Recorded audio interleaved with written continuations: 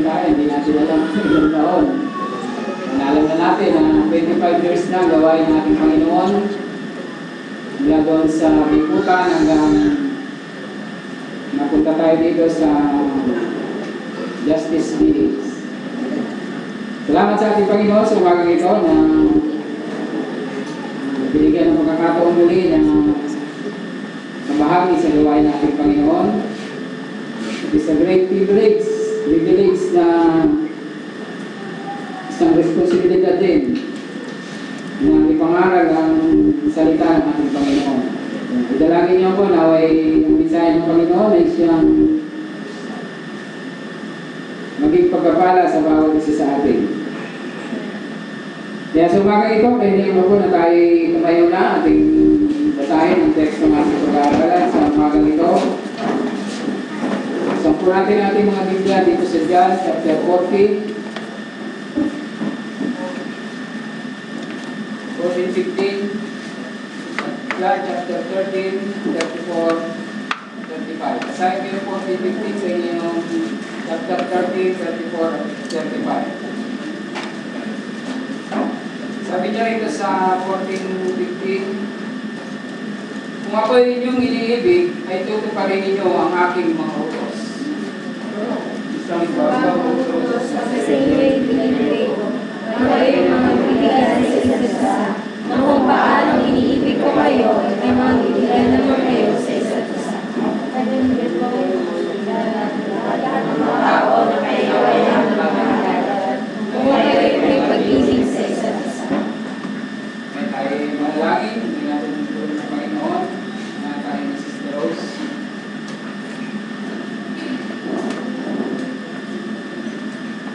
Naman Diyos, dalayan po namin ang iyong banal na espiritu ang siyang manguna sa amin. Tulungan mo po ang iyong alipin na gagamitin mo, Panginoon. Versikulo na siyang pagbabatayan ng aming pag-aralan. Panginoong Diyos, ano man po yung mensahe mo naway, pangyari po ang kalooban sa mga oras na ito.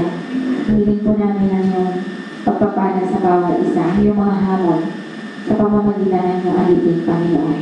Salamat Ama sa inyong katapatan. Salamat sa katugunan. Sa ngalan po ng aming Panginoon Jesus.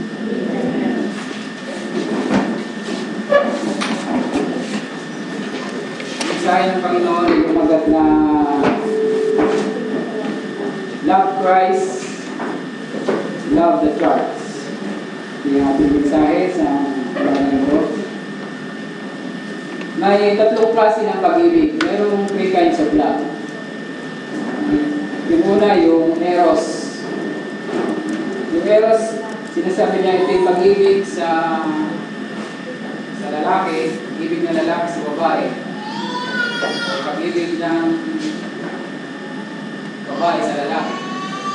Yung sabi niya is sex, sexual love. Pangalawa, yung pileo o pilyo. Ito yung pag-ibig sa mga bagay ng mundo nito iba. Yung ibig ko yung aking I pet, yung dog, I love my car, yung aking bahay, yung aking kaibigan. Yung ibig sabihin ng pileo. At yung pangatlo, yung agape. Ito yung pag-ibig na mga Diyos. At yung pag-ibig na yan ay sakdal na pag-ibig. Do you know the greatest conqueror of all times? Meron ba tayong kilala na greatest conqueror? Si Alexander the Great. Sino pa? Si Julius Caesar, Caesar. Cyrus the Great. Francisco Pizarro. At si Napoleon Bonaparte. Ang mga ito ayon sa kasaysayan, sila ay nagtagumpay sa kanilang layunin na makonquer ang mga lugar na kanilang pinupuntahan. Gamit ang kanilang talino, yung kanilang lakas, yung ng kanilang mga sundalo, at yung kanilang mga armas. Ngunit ang ating Panginoon, He the world through love. Pamamagitan ng pag-ibig. Hindi sa gumamit ng pwersa, sundalo, o sandata man, kundi through love, we conquer the world. Amen. Maaaring sa atin, sa ating kalagitnaan, iba't ibang sekta yung ating pinanggalingan. Maaaring yung iba, pinanganak na sa, sa iglesia ng ating Panginoon. Maaaring nakakis na nila ang iglesia ng ating Panginoon. Pero karamihan sa atin, nanggaling tayo sa sekta. Yung iba born again, yung iba katoliko, yung iba baptist.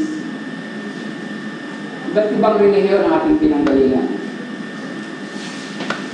Ngunit tayo nagpapasalamat sa ating Panginoon sa umagang ito na hindi tayo nagkamali. Amen. We are on the right way to heaven. Sabi nga, nasa tamang daan tayo patungo sa langit. Yun yung ating pagpasalamat sa umagang ito na hindi tayo nagkamali sapagkat sabi ng Biblia, makikilala niyo ang katotohanan, ang katotohanan na magpapalala sa inyo. Amen. Kaya sa umagang ito, nasa tama tayo mga kapatid. Kung ating susundin ang salita ng Panginoon, pupunta tayo sa langit.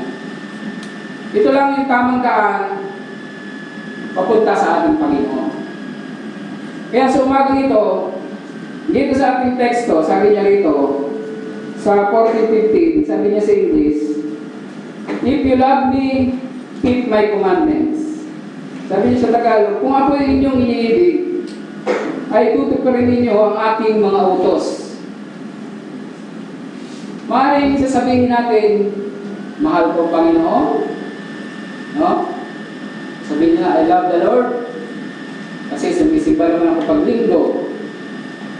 Maawit ako sa Panginoon. Nagbibigay ako. Sabihin niya, mahal ko ang Panginoon.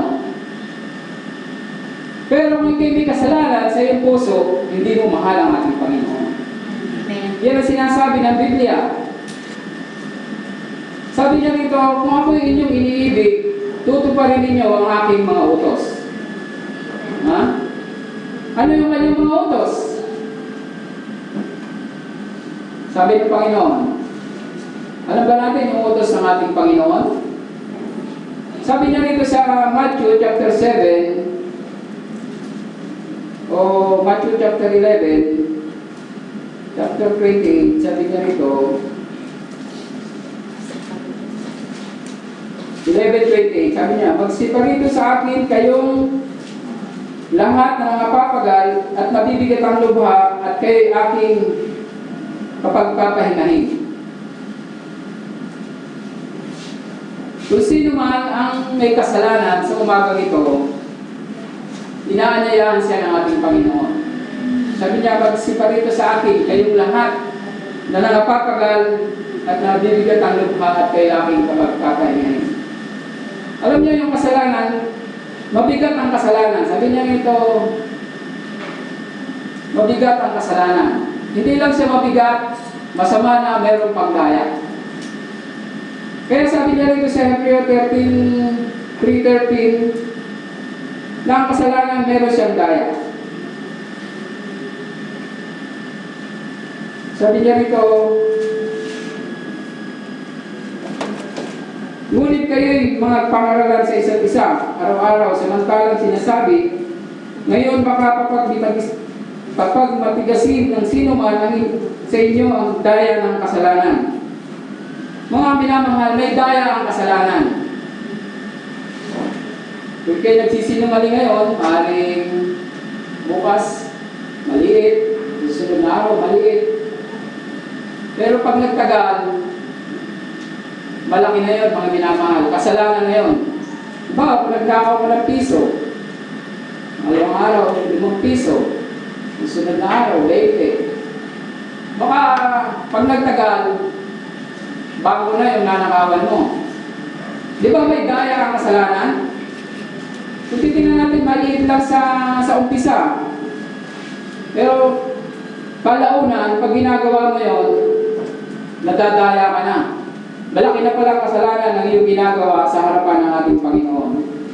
Kaya sabi nga, makasalanan, sila ay manggagawa ng katampalasanan. Sabi niya 7.23 ng Matthew, kayo ay manggagawa ng katampalasanan. Kaya sa umaga nito, kung sino man ang may kasalanan pa sa kanyang puso, meron pa anyaya ang ating Panginoon. Amen.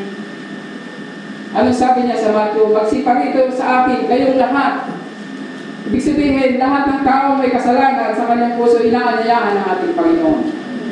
Kahit bata pa lang siya, basta nakilala niya na yung mabuti at yung masama, at ginawa niya yung masama, kailangan niya na yung paanyaya ng ating Panginoon. Amen. Kaya sa umaga nito, pag natin sabihin na matuwid tayo sa harapan ng Panginoon, sumasamba naman ako tuwing linggo, kasama ko ng aking mga magulang, mga aking kaibigan, pero kung may kasalanan ka sa iyong puso, hindi mo minamahal ang ating Panginoon. Amen. Kaya ang kanyang utos, magsiparito sa akin kayong lahat na nangapapagal. Nabibigat ang lubha. Kaya ang kasalanan, mabigat mga minamahal. Kaya sabi ng Panginoon, yung nabibigat ang lubha. Alam ng Panginoon ang kabigatan ng kasalanan ng dala ng tao sa sanlibutan. Kaya siya'y pumarito sa sanlibutan para kuhanin yung kasalanan ng mga tao. Siya yung magpata ng kasalanan. Amen. Kaya kung sino man ang hindi pa nakaranas ng kaligtasan mula sa kasalanan, huwag siyang katawa-tawa. No? Tinatawanan niya ang ating Panginoon. Mahal siya ng ating Panginoon, kaya kailangan kung siya tinatawag, lalapit siya sa ating Panginoon. Huwag natin gawing biro yung ating mga kaluluwa. Amen. Kung hindi aksidente na tayo naparito, hindi lang, sabi niya eh, yaya ko ng aking kaibigan, no? Para hindi mo siya mapahiya sa akin, kasama ko sa kanya. Pero ito yung pagkakataon na marinig mo na mahal ka ng ating Panginoon. Meron siyang paanyaya sa iyo. Ano sabi niya? Magsiparito sa akin, kayong lahat, na nangapapagal at nabibigat ang lubha at kay aking kapagpapahingahin ko. Yan yung paanyaya ng Panginoon. Alam niyo yung paanyaya ng Panginoon, habang tayo nabubuhay, nandiyan ang Panginoon. No? Nangungusap siya. Bagaman ang tao sabi niya, siya'y manggagawa ng katampalasanan, minamahal pa rin siya ng ating Panginoon. Kaya mahal tayo ng ating Panginoon. Pero sa sa huling panahon, sabi ng Panginoon, hindi na paanyaya ang ating maririnig. Magsilayo kayo. Kayo manggagawa ng katampalasanan. Pero habang hindi dumarating yung mga panahon na yon, habang may paanyaya ang Panginoon sa atin sa umaga nito, tayo ay lalapit sa Kanya. Amen. Ha? Sabi niya, kapahingahan sa ating mga kaluluwa. Sabi niya, sabi niya rito sa Jeremiah 6.16, kapahingahan sa ating mga kaluluwa.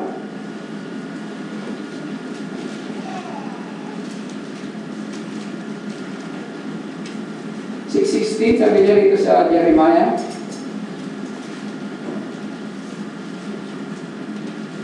Ganito ang sabi ng Panginoon, Magsitayo kayo sa mga daan at magsitingin kayo at ipagtanong ninyo ang mga dating landas kung saan nandoon ang mabuting daan at magsilakad kayo roon at kayo'y makasusumpong ng kapahingahan ng inyong mga kaluluwa.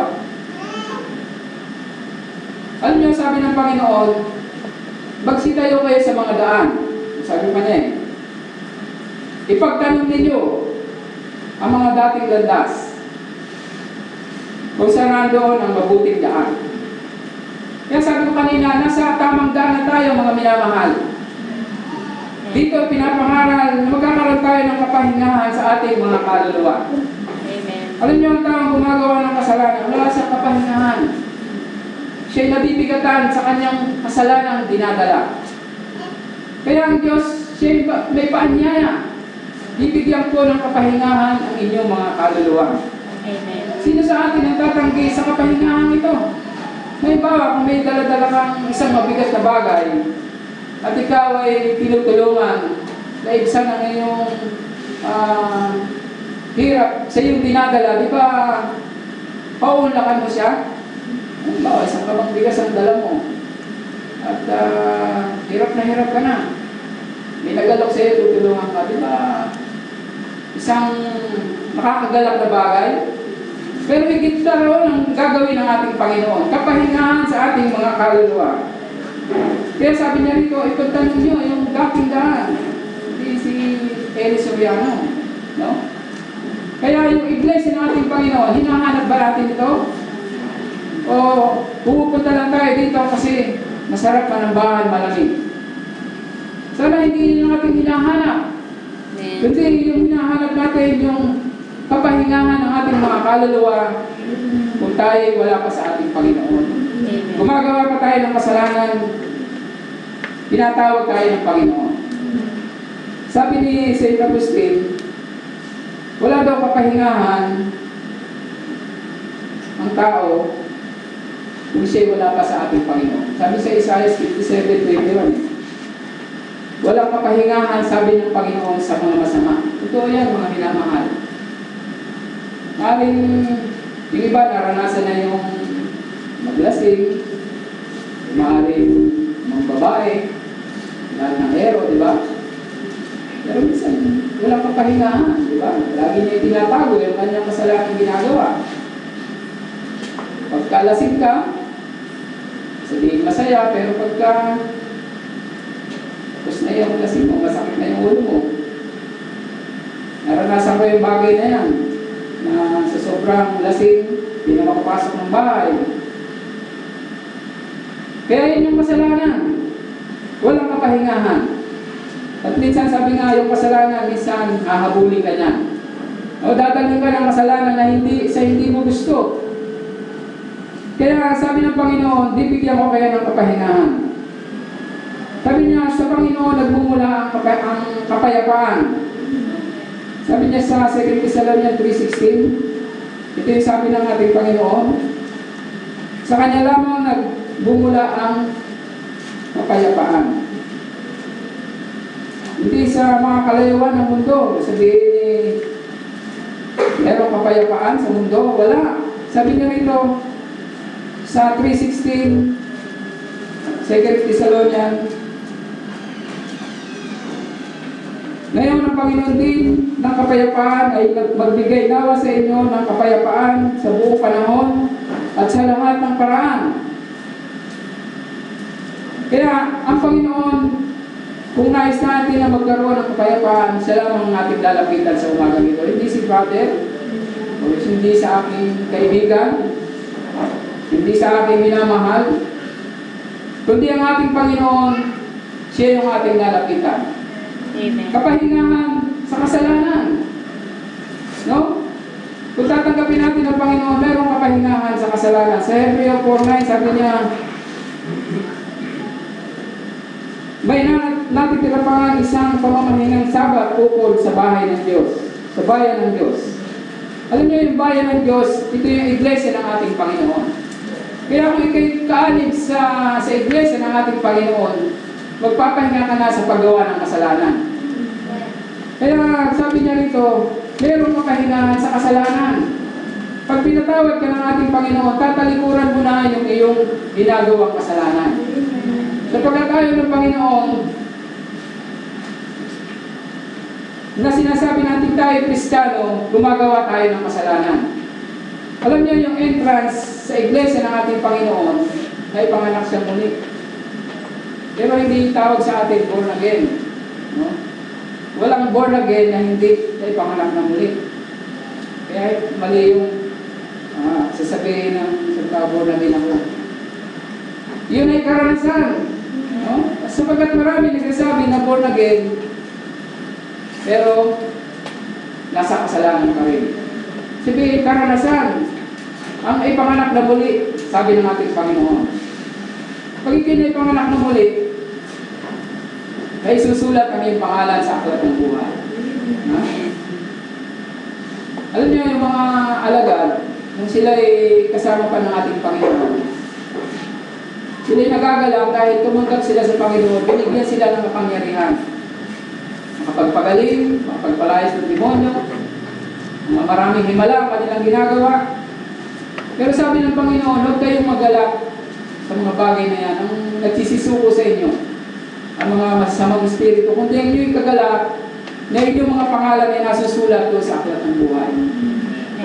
Nagagalak ba tayo na yung ating pangalan ay nasa aklat ng buhay?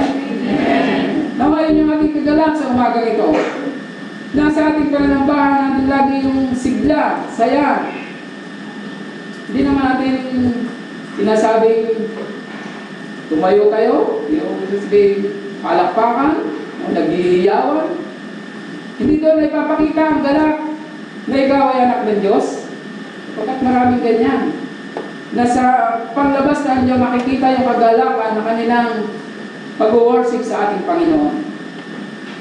Pero sabi nga rito, yung mga makasalanan, pag sila'y naligtas, sabi niyo sa ating binabasa, pasalin ninyo ang aking pamatok sa 11.29 at mag-aral kayo.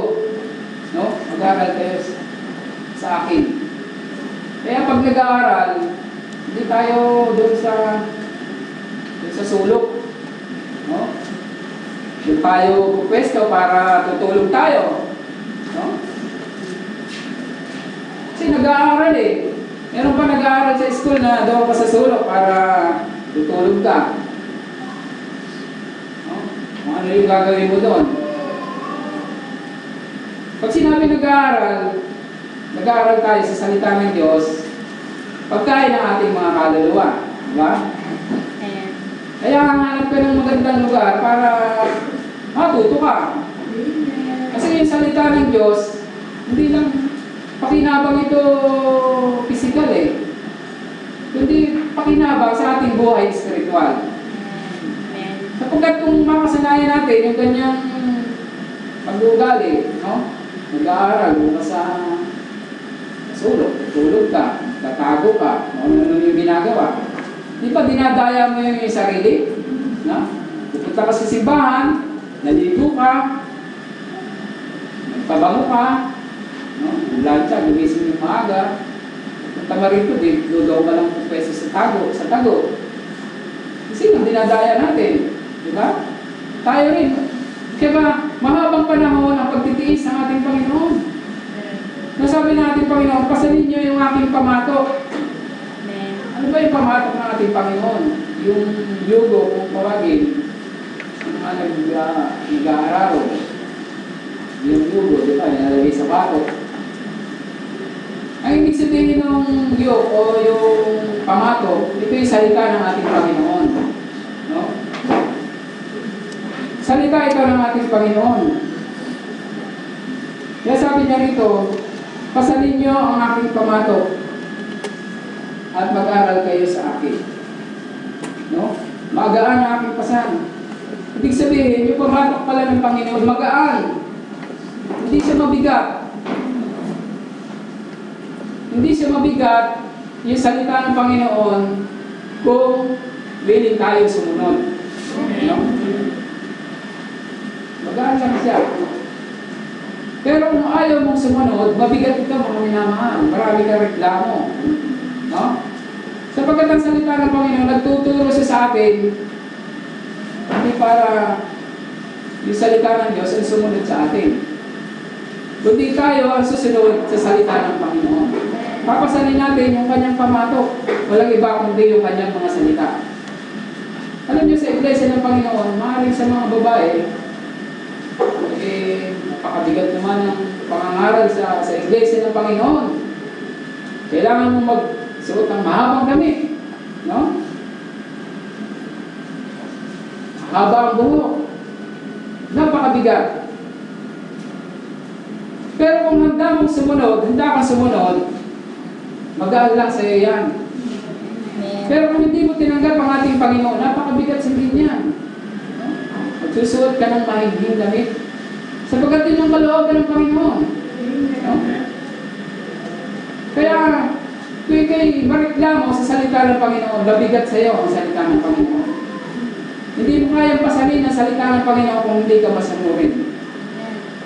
Kaya sa umagang ito, kailangan kung ikay hindi pa masunurin sa, sa kalooban ng ating Panginoon, sa kanyang mga salita, may paanyaya ang ating Panginoon. Magsiparin ito sa akin, sabi ng Panginoon. Sabi niya, kung mahal natin ang ating Panginoon, tutuparin natin yung kanyang mga utos. No? Kaya, sabi niya, pag ikay naging anak ng Diyos, magkakaroon ka ng fellowship with God and Christ and the saints.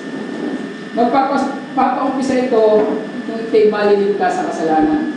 Kaya hindi lahat ng narito, nakikipellowship siya sa Diyos o sa ating Panginoon o sa mga kapatid kung siya may kasalanan pa sa kanyang puso. No? Sapagkat ang may fellowship, sabi niya dun sa 1 John 1.7, Ngunit kung kayo nagsisilakad sa liwanag, gaya niya nasa liwanag, ay may pakikisama tayo sa isa't isa at pinilinis tayo ng dugo ng anak ng ating Panginoon Diyos sa lahat ng ating mga kasalanan. Kaya merong fellowship. Kung gilinis ka na ng dugo ng ating Panginoon, meron ka ng fellowship with the saints, with God, at sa ating Panginoong Yesus. Kaya dapat maranasan natin yung mga bagay na yun. Pero kung hindi pa, magiging maasim sa ang makipag-fellowship sa mga anak ng Diyos. Sapagkat ang pananambahan, start ng alas 8, natapos ng 11.30. Minsan lumalampas pa. Pero kung hindi ka sanay, kagaya na pinasanayan natin doon, sisimba lang sa, sa umaga, magpipis with video, tapos punta na ng mall, asyal na. Yun ang simba ng sanlibutan. Pero yung simba ng mga Kristiyano, nag-aaral ng salita ng Panginoon. Hindi tayo natutulog sa salita ng Panginoon. No? Sapagkat narito ang Panginoon. No?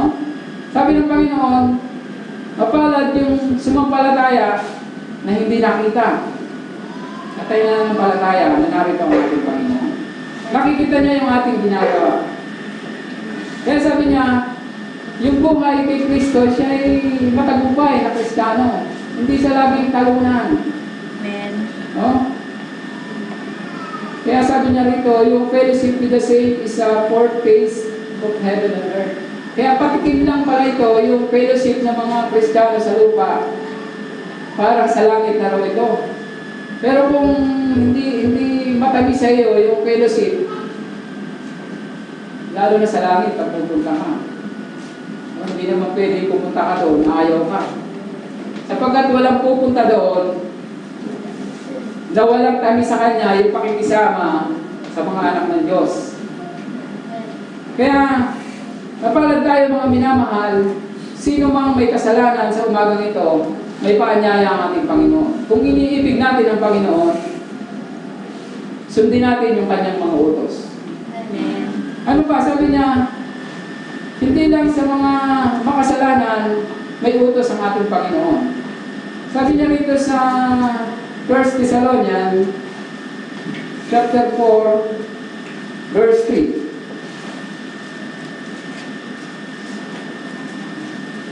Sapagkat ito ang kalooban ng Diyos sa makatuwid bagay ang inyong pagpapakabanal. Ito pala ang isang kalooban ng ating Panginoon para sa mga Kristiyano. Sa mga makasalanan, ang kalooban ng Panginoon, sila magsisi. No? Pagsisiyan ng kasalanan, manampalataya, no? pagsisiyan sa Diyos, manampalataya sa ating Panginoong Iso Kristo, at siya rin ganap ng ating Panginoon. Magkakaroon siya ng ah, kapayapaan sa Diyos dahil sa pananampalataya. Ngayon, nung ikay maging Kristiyano na, may utos pa rin ang ating Panginoon. Ano sabi niya rito? Sapagkat ito ang kalooban ng Panginoon. Kalooban ng Diyos sa makatuwid bagay ang inyong pagpapakabanal. Kung ikay naligtas na mula sa kasalanan at hindi mo pa naranasan ang lubusang kabanalan, your salvation is not complete. Pag sinabing kaligtasan at pinaligtas na, pero nanatili ka pa rin sa kalagayan inaring ganap, ang iyong karanasan ay hindi pakumpleto. Pagkat maganda kung naligtas ka sa kasalanan, namatay ka na, pupunta ka na sa langit.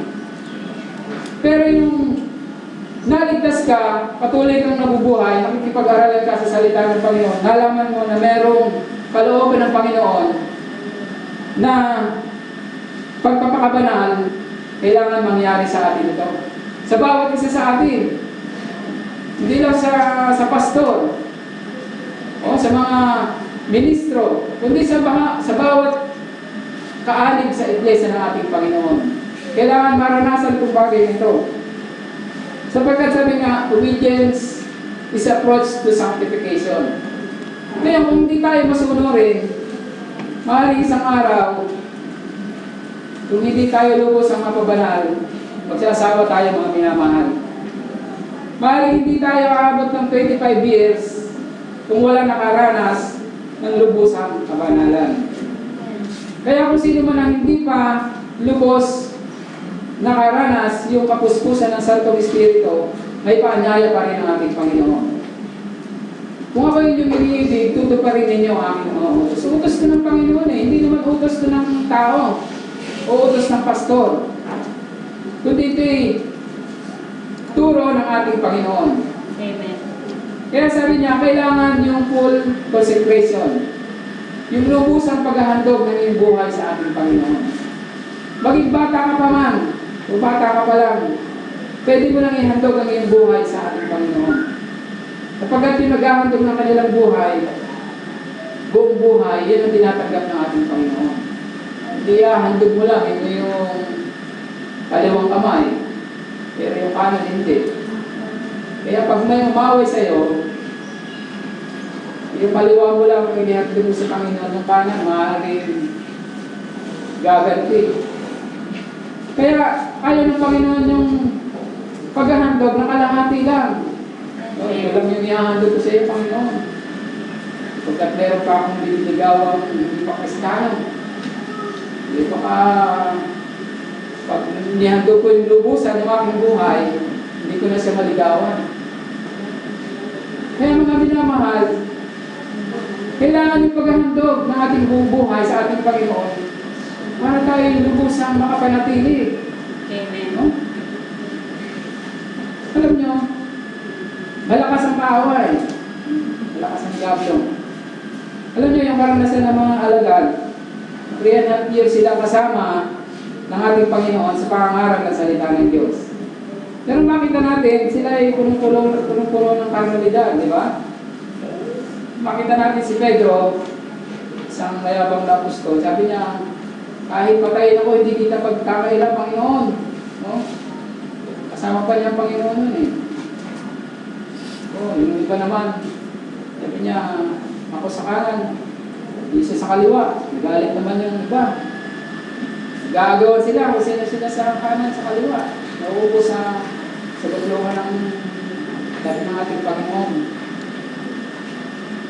Alam niyo, nung mapuspos ang mga alagad ng banal na Espiritu, sapagkat yun yung pinangako ng Diyos sa kanila na hintayin nila yung pangako ng ating Panginoon dun sa gawa chapter 1 verse 7 verse 8 sabi niya datapwat tatanggapin ninyo ang kapangyarihan pagdating sa inyo ng Espiritu Santo at kayo'y magiging mga saksi ko sa Jerusalem at sa buong Judea at sa Samaria at sa hanggang sa kahuli-huli hanggang ng lupa. Alam niyo, nung si Pedro, siya yung mapuspos ng banal na Espiritu. Siya ang unang tumayo sa karamihan ng mga tao at siya yung unang nangaral. Niyo yung mga naligtas 3,000 nadagdag sa iglesia ng ating Panginoon. Kaya, kung hindi tayo lubos sa pagkababalal, maaaring isang araw, maranasan natin mag-backslide sa ating Panginoon. No? Lalayo tayo sa ating Panginoon. Dahil hindi mo lubos na inhandog ang iyong buhay sa ating Panginoon. Ganda sana kung makapanumbali ka pa, gaya ni Pedro. Nakita niya yung kanyang ginawang kasalanan sa harapan ng Panginoon at siya ay nanumbalik. Kaya mga minamahal, ito'y kalooban ng ating Panginoon, yung lubos at pagpapakabanal. Amen. Kaya kung wala pa sa atin to, nasahin natin. Pagkat kung di natin dinanasa, hindi naman tumapak pa sa atin. Nasa atin ang pagnanasa, nasa Diyos. Sabi niya, nasa Diyos ang awa, nasa tao ang gawa. Pero kung habang napapakinggan mo ang salita ng Panginoon, at ikaw ay patuloy na nagmamatigas, alam niyo ang salita ng Panginoon, patuloy siyang pipilo sa ating kalagitnaan. No? Na ipapaalala kung ano yung ating karanasan sa ating Panginoon. Kaya kung makita natin yung ating karanasan sa Panginoon, yung paanyaya sa atin, magsiparito kayo, sabi ng Panginoon. No? Kung ako inyong iniibig, tutuparin niyo yung aking inuutos. Utos ka ng ating Panginoon. Kaya sabi pa niya, ito ang kalooban ng Diyos sa mga Kristiyano. Sabi niya, panguli, love the church. Ibigin niyo ang iglesia ng ating Panginoon. Sa ating teksto, basahin ulit natin sa John chapter 13, 34. Sabi niya rito, Isang bagong utos ang sa inyo binibigay ko na kayo ay mga ibigan sa isa't isa na kung paano iniibig ko kayo ay mga ibigan naman kayo sa isa't isa. Sa ganito ay makikilala ng lahat ng mga tao na kayo ay aking mga lagat kung kayo ay may pag-ibig sa isa't isa. Alam niyo yung iglesia, hindi itong simbahan. Yung iglesia ay mga tumanggap sa ating Panginoon. Kaya, ibigin natin yung pagkakapatiran. Pinakutos ng ating Panginoon. Huwag natin tingnan yung kahinaan ng iba, no? Ang kanyang mga pagkukulang. Mahal natin yung bawat isa sa atin. No? Ito yung walang kaibabaw na pag-ibig sa iglesia ng ating Panginoon. Sa sekta, sa pag panambahan, nagmamahalan sila, pero pagka hiwalay na, wala na. Wala na pakialam sa bawat isa.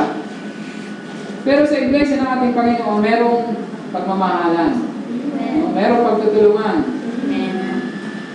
Hindi tayo naglalagay ng mga bagay na ika- ikakasira ng ating kapatid. At sabi niya, ang pag-ibig, nagtatakip ng lahat ng uri ng kasalanan. Kaya kung may pag-ibig tayo sa ating mga puso, ano man yung pagkukulang ng ating mga kapatid, ng ating mga mga kapatid o mga ating mga kapatid sa pananampalataya, tinatakpan niya ng. Kaya kailangan gumawa tayo. Ang iglesia ng ating Panginoon, dito sa katarungan, kailangan ingatan natin. No?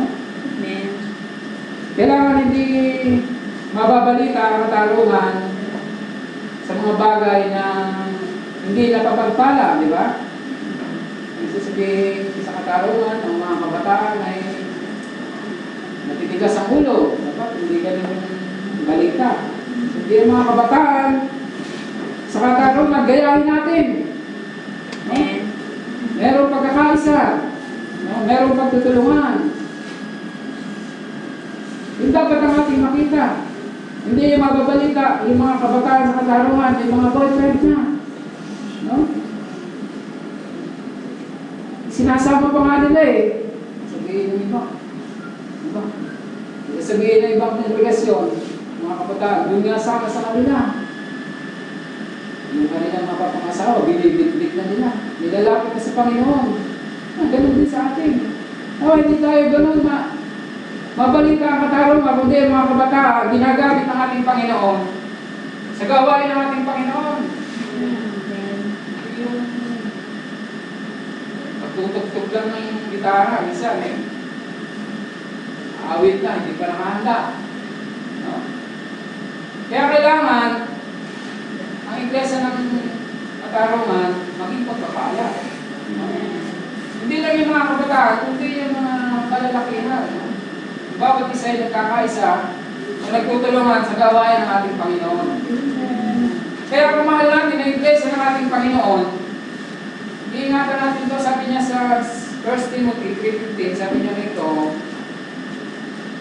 1 Timothy 3.15, sabi niya,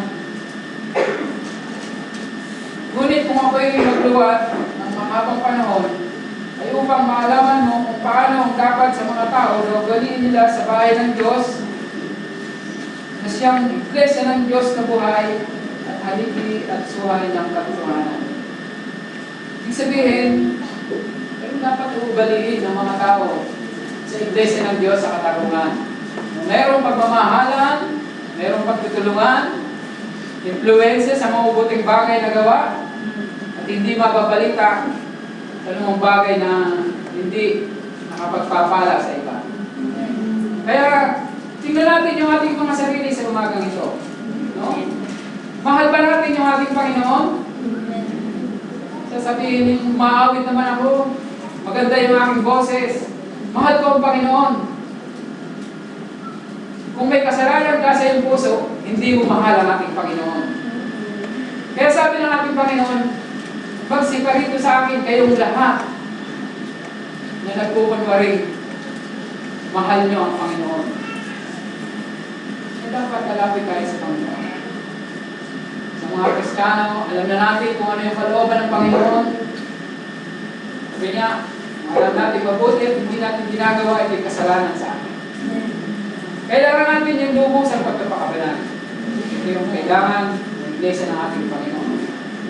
Yung iglesia dito sa Katarungan, malapit na mag-anniversary, sana talagang kabilang tayo sa iglesia ng Panginoon dito. Hindi lang tayo kasama-sama. Hindi lang tayo umaawit, hindi talagang naranasan natin yung tunay na kaligtasan. Hindi lang tayo nagdadamit ng, ng bagara. Hindi talagang naranasan natin yung kaligtasan mula sa kasalanan. Kaya sa umagang ito, yan ang nais ng ating Panginoon. Kung ating siyang iniibig, patunayan natin sa umagang ito. Kung iniibig natin ang iglesia ng ating Panginoon, nawa maging kasangkapan tayo sa tagumpay ng gawain ng ating Panginoon. Kaya sa mixing mensahe ng ating Panginoon, na may naaralan tayo mga minamahal. Sa salita ng Panginoon, alam natin na mayroong dalang hamon at pagpapala sa bawat isa. Kaya kung sino man ang ipapang- pangangailangan sa ating Panginoon, huwag mo kapag matigasin ng iyong puso sapagkat may daya ang kasalanan. Ang Kaligtasan ay ngayon at hindi ang bukas. Kaya nawa kalapin natin kung ano yung makabubuti para sa ating mga kaluluwa. So yung mensahe ng ating Panginoon, tawagan natin Thank you.